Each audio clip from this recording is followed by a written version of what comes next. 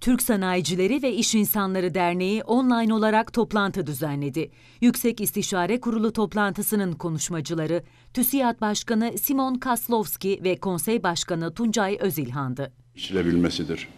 Türkiye'nin kaynaklarına dikkat çeken Kaslovski, ülkenin potansiyeline vurgu yaptı.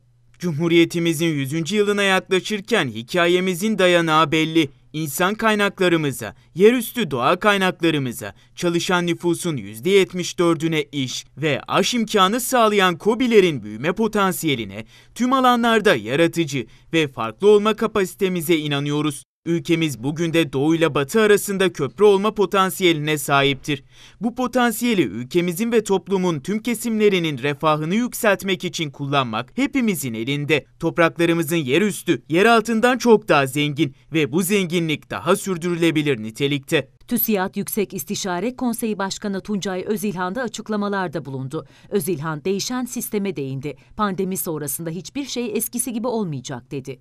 Ülkemizdeki ekonomik gelişmeler açısından 2021-2020'ye kıyasla daha fazla umut vaat ediyor. Pandemi sonrasında hiçbir şey eskisi gibi olmayacak. Ülke olarak değer zincirlerinde meydana gelecek değişimlerden olumlu etkilenme olasılığımız yüksek. Çünkü coğrafya açısından çok şanslıyız. Çünkü geçmişten gelen gelişkin bir üretim yapımız, yetişmiş, kalifiye iş gücümüz ve iyi bir altyapımız var.